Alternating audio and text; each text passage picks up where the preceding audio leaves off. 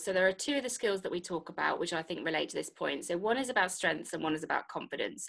So in order for me to say what's the worst that could happen, um, I had a lot of understanding about what I was good at. Like I'd focused a lot about what, what, where do I add value? All these companies that I want to work in, whether it's my own or these other ones, where do I really add value? And I knew what that was. That was building relationships. That was making things happen. It was developing people. It was growing businesses. That you can put me in lots of different contexts, and those are the things that I will be good at. There's a whole host of things that I'm not good at, but those are the four things that where I add value. So I knew that even if I left that career, uh, in corporate life and did my own thing it didn't work out i could still trade on those strengths in lots of different ways and i and i had that insight into my strengths I also had worked really hard on my confidence. So, we often talk about these things called confidence gremlins, and they are like beliefs that hold you back. It's the uh, if I fail, I'm doomed.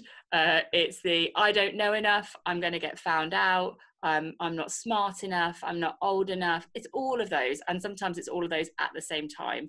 And lots mm. of people have confidence gremlins and they stop them taking action stop them taking chances, stop them speaking up, stop them moving in different directions because of all of that doubt.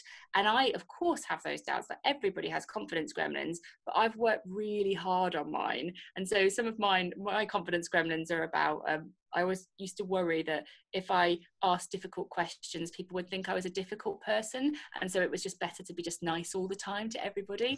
And then I started to realize that that meant that I wasn't challenging things that I didn't think was right or standing up for things that I thought should happen and that it was holding me back and it was holding other people back. And, and once I learned to cage that gremlin, I didn't I don't I don't really worry about being a difficult person anymore. I don't go out of my way to be a difficult person, but it's not a belief that holds me back if there's something that I want to say or something I want to do.